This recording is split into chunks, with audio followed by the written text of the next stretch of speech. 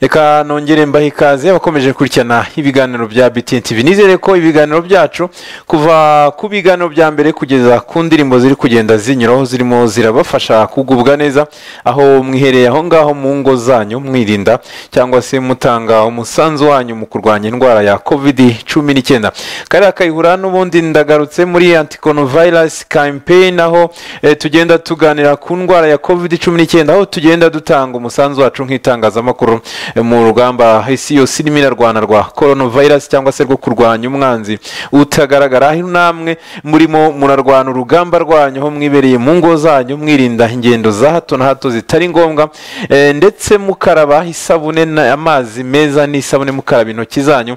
Ubwo urwo rugamba rwanyu mu gihe uzaba urimo urakora ibyo byose cyangwa se uzaba uri kubahiriza ibyo inzego z'ubuzima zidusaba uzamenye ko wowe ubwawe ku giti cyawe urimo urarwana urugamba rwawe mu bijyanye no kurwanya indwara ya covid cumi n'icyenda. Mu gihe abaganga bari gukora ibyabo ndetse inzego zishinzwe gushakisha abagiye bahura n'abarwayi inzego z'umutekano ndetse n'abandi bose bagenda bakora ibyabo nawe aho wibereye mu rugo mu gihe uri gukurikiza amabwiriza uri guhabwa umenye ko nawe uri gushyiraho umusanzu wawe cyangwa se uri gushyiraho itafari ryawe. Tugarutse ku ndwara ya covid cumi n'icyenda hano mu gihugu cyacu cy'u rwanda. Kugeza amagingo aya ngaya mumaze kumenyera yuko amakuru aza mu gihe cy'umugoroba. Ku munsi w'ejo ni bwo eh, batubwiye yuko hiyongeraho abarwayi bagera kuri eh, barindwi ibyo nabibabwiye. Mu masaha makumyabiri n'ane yashize abantu barindwi basanganywe covid cumi n'icyenda mu bagera kuri magana cyenda mirongo inani na batatu bari bapimwe mu masaha makumyabiri n'ane. Ni ukuvuga ngo bafashe abantu magana cyenda mirongo inani na batatu barapima mu masaha makumyabiri n'ane. Abo bantu nabo baragiye bahura n'abarwaye covid cumi n'icyenda. Muri abo bantu rero magana cyenda mirongo inani na batatu bose basanzemo abantu barindwi barwaye covid cumi n'icyenda. Ni ukuvuga yuko abasigaye basanze eh, nta kibazo bafite. N'ubwo bagikomeza gukurikiranwa kugira ngo barebe niba nyuma yaho nta kizavamo. Kugeza ubu rero mu rwanda dufite abarwayi tumaze kubona kesi zigera ku ijana na mirongo itatu n'enye. Abantu mirongo ine n'icyenda bamaze gukira ino ndwara ya covid cumi n'icyenda. Hano hari ibintu nshaka ko eh, twumvikanaho twese nk'abanyarwanda. Bivuze yuko dufite eh, abantu bagera kuri mirongo ine na batanu ubu ngubu bafite indwara ya covid cumi n'icyenda. Wongeyeho mirongo ine n'icyenda bakize ni bwo tugira abantu bangana n'ijana na mirongo itatu na bane. Icyorezo cya covid cumi n'icyenda giterwa n'agakoko kashya ka coronavirus. Murabyibuka neza ko cyagaragaye bwa mbere mu bushinwa mu kwezi k'ukuboza mu bibiri na cumi n'icyenda mu rwanda umurwayi wa mbere habonetse tariki cumi n'enye werurwe bibiri na makumyabiri ni umuhinde ukorera rimwe mu mashami ya loni wageze mu gihugu avuye mu mujyi wa mumbai hari tariki ya munani z'ukwezi kwa gatatu ubwo yageraga mu gihugu cy'u rwanda. Kuva icyo gihe rero hamaze kuboneka abafite ubwandu ijana na mirongo itatu na bane eh, barimo barindwi bapimwe mu masaha makumyabiri n'ane ashize ubwo ni ku munsi w'ejo ndimo ndavuga. Itangazo rya minisiteri y'ubuzima rirongera rigasaba abanyarwanda bose eh, gukomeza gutanga amakuru kugira ngo inzego z'ubuzima zoroherwe no gukurikirana no kwita ku baba baranduye muri urwo ruhererekane. Nk'uko mubyumva neza minisante ivuga ko umuntu wese uhisha cyangwa se wanga gutanga amakuru arebana n'abahuye n'umurwayi wa coronavirus cyangwa se agahisha ibimenyetso byayo. Aba ashyize ubuzima bwa benshi mu kaga kandi abihanirwa n'amategeko. Aha ngaha ntabwo umuntu yaba agiye kure y'uko uravuze yuko iki gihe waba uri n'umwanzi w'ubuzima cyangwa se umwanzi w'igihugu. Abarwayi rero ba coronavirus mu rwanda bari kuvirwa ahantu habugenewe kandi bari koroherwa nk'uko mugenda mubyumva harimo abagenda bakira. Nta n'umwe urembye ntimugire impungenge niyo waba ufitemo umuntu wawe umenye yuko bameze neza. Abaturarwanda basabwa gukomeza rero kwitwararika ku ngamba zo kwirinda zirimo gukaraba intoki. Kenshi hifashishwa amazi meza n'isabune cyangwa se alukoro yabugenewe kubahiriza intera metero imwe hagati y'umuntu n'undi no gushyira mu kato k'ibyumweru bibiri winjiye mu rwanda wese. Mu gihe uzaba uri gukurikiza ibyo ngibyo urugamba rwawe uzaba ururwanye neza kandi nta kabuza yuko n'abandi nibabigenza gutyo eh, urugamba tuzarutsinda. Ibimenyetso ni ibihe? Inkorora ibicurane guhumeka bigoranye n'umuriro.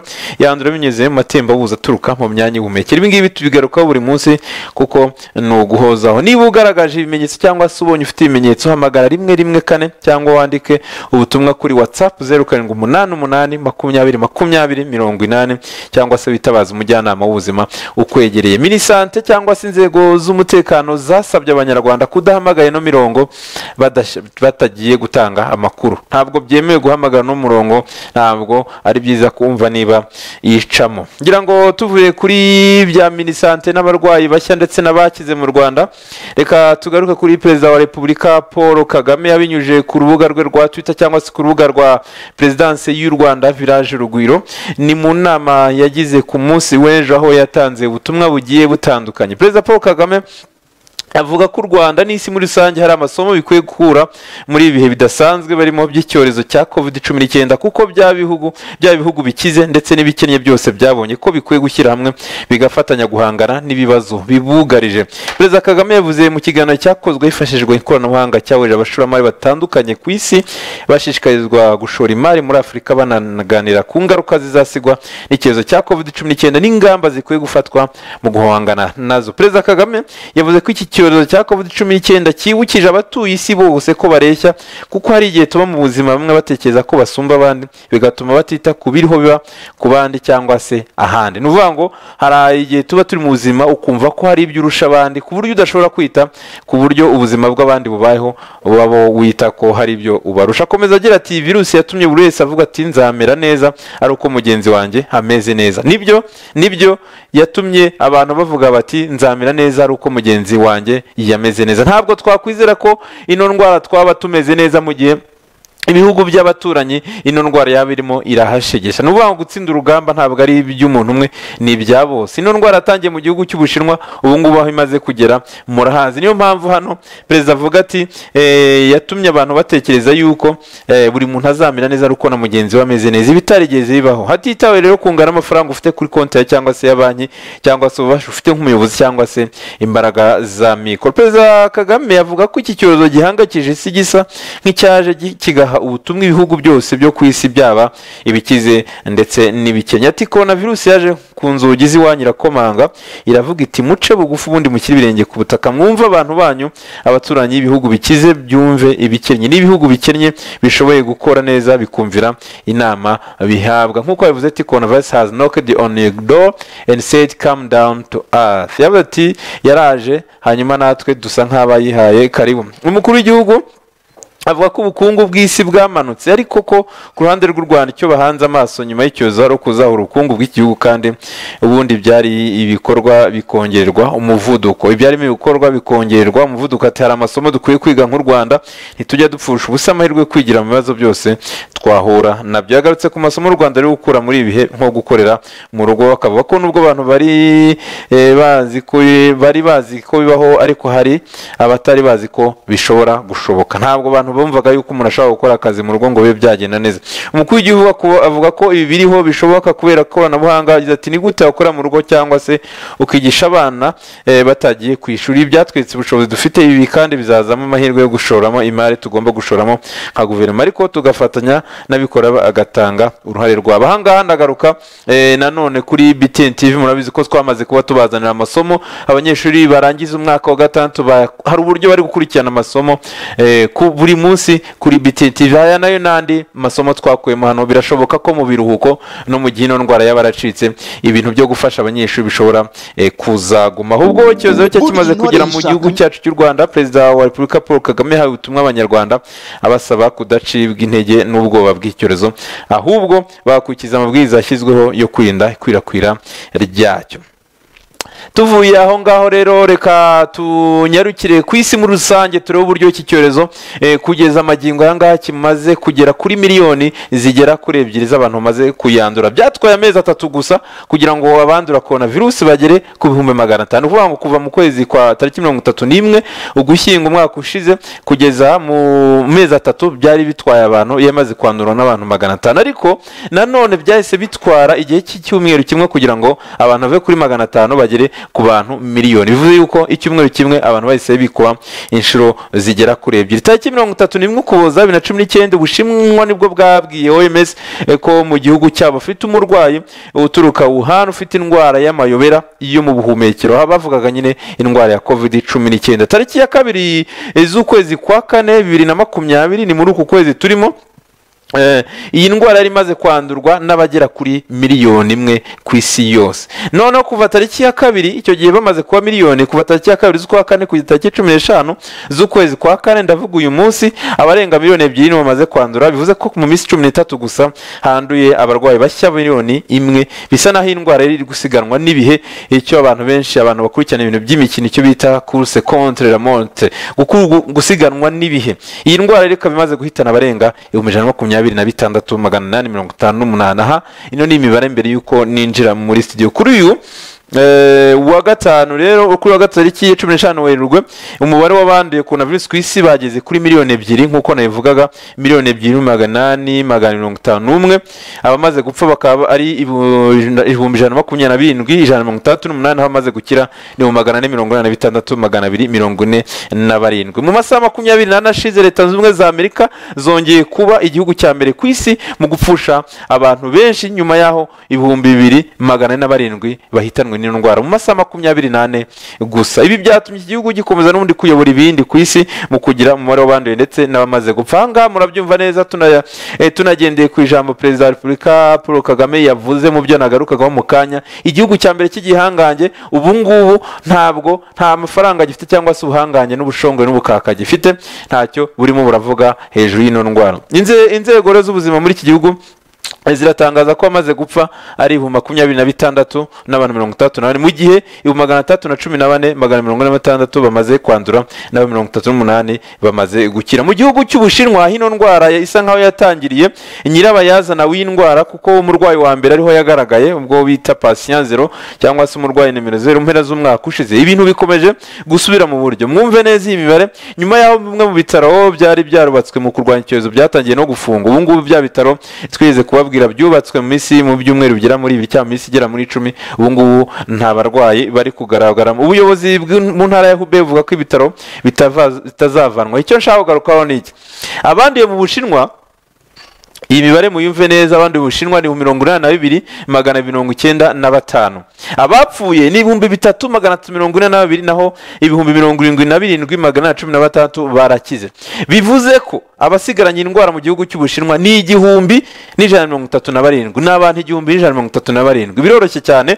Fata abarwayi bose ukuremo abapfuye ukuremo abakize. Ahasigaye rero abarwayi igihumbi n'ijana na mirongo itatu na barindwi mu gihugu cy'ubushinwa ubu ngubu bafite indwara cyangwa se batarakira. Aho ni ho duhera tuvuga yuko ibintu birimo birajya mu buryo. Inzego z'ubuzima muri iki gihugu zigaragaza ko uyu kuri uyu wa kabiri eh, umuntu umwe ari wapfuye. Ubwo ni ku munsi w'ejo hapfuye umuntu umwe mu gihe mirongo ine na bitandatu ari bo banduye. Kugeza ubu ibihugu bifite abantu abanduye benshi twabigarutseho leta zunze ubumwe za amerika aho abanduye ngira ngo tuhite tugendera ku rugero twari tumaze gufata rw'igihugu cy'ubushinwa ku mwanya wa mbere nyine leta ubumwe za amerika zifite abanduye bangana n'ibihumbi bi- magana atandatu na cumi na bane magana mirongo ine na batandatu abamaze gupfa ni ibihumbi makumyabiri na bitandatu mirongo itandatu na bane abakize ni ibihumbi mirongo itatu n'umunani magana inani na makumyabiri. Dufashe nk'uko twafashe urugero tugafata abarwayi bose tugakuramo abakize tugakuramo abapfuye leta ubumwe za amerika ubu ngubu isigaranye abarwayi ba- abarwayi bangana ibihumbi magana atanu mirongo ine n'icyenda magana atatu mirongo itandatu.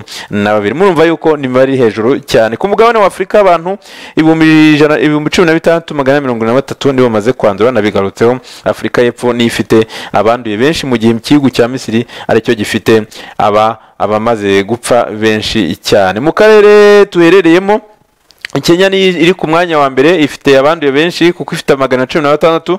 Mu gihe abamaze gupfa bakiri icyenda mu rwanda hamaze kuboneka abanduye ijana na mirongo itatu na bane ntawe urapfa. Abamaze gukira nabo barimo biriyongera bageze kuri mirongo n'icyenda bivuze ko abayisigaranye mu rwanda ari mirongo inani na batanu. Mu gihe igihugu cya uganda bafite mirongo itanu na batanu tanzania bafite mirongo itanu na batatu. Eh, mu gihe batatu bamaze gupfa muri tanzania hanyuma uburundi bafite batanu.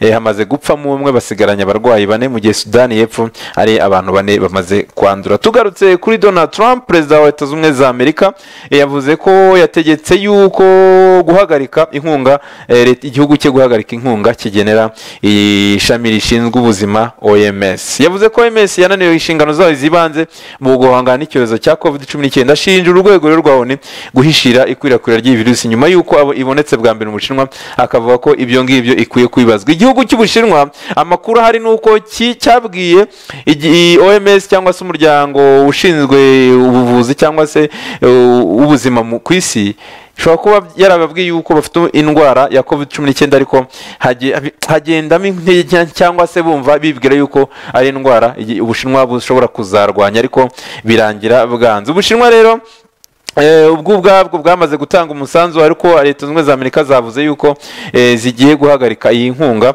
Ibintu byagiye binengwa n'abantu benshi harimo n'umuyobozi uyobora oni wo bita gutierrez ndetse na tedros uyobora ishami ry'umuryango.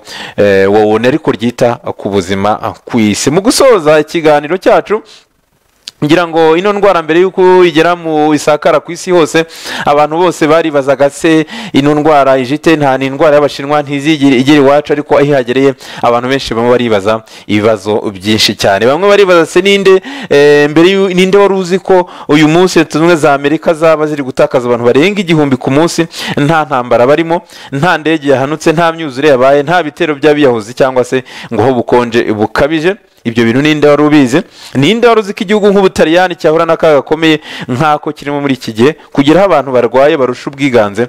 Abaganga bityo bagapfa umusubirizo ibyo bintu ninde wari ubizi. Ninde wari uzi ko igihe kimwe isi izaba isangiye ikibazo umwanzi wacu twese ari umwe kandi atari uko hari intambara z'amadini cyangwa se amapfa yateye wenda kubera izuba rikabije cyangwa se imvura yangije. Tukunze kumva yuko hari uburyo akayungirizo kari kwangizwa aho ngaho izuba rishobora kuba ryatangira kugira byinshi byica abantu aho ngaho bavuga ati umwanzi ni umwe. Ariko sininde watekereza ko hazigera haza umwanzi umwe isi yose igahagarika ibyo yari irimo ikajya kurwanya uwo mwanzi. Ninde watekereza ko akazi kazahagarara amaduka agafungwa imodoka zigahagarara indege ntizigende amato manini n'amato- byose bigahagarara amashuri agafunga nta kiruhuko cyabaye nta ntambara yabaye ahubwo ari ukubera ubwoba no gutinya umwanzi ugendagenda bucece covid cumi n'icyenda ninde wigeze atekereza ko isi yose izakora amasengesho rimwe kandi ikabera mu rugo rwa buri muntu atari uko abishaka ahubwo kuko abona ko nta wundi muti eh, murengezi afite usibye imana yonyine. N'indi muhanga mu baganga uzi kuvumbura cyane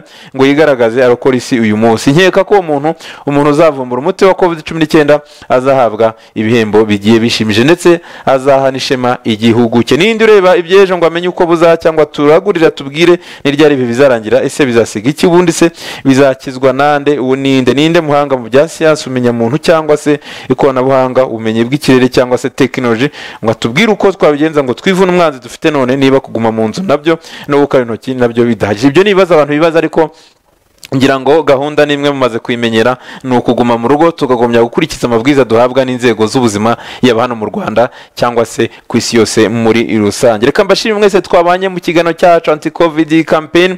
Ibiganiro nk'ibi ngibi birakomeza hano kuri btn tv ushobora no kujya ku mbuga nkoranyambaga zacu ukaba wabisangayo. Hari youtube channel btn tv rwanda twitter btn tv rwanda ndetse na facebook btn tv eh, rwanda. Mu kanya gato ni ikiganiro cya siporo mukomeze munogerwe n'ibiganiro btn tv yabateguye nge na rikariya kayihura trezor twari kumwe ku buhanga bw'ibyuma.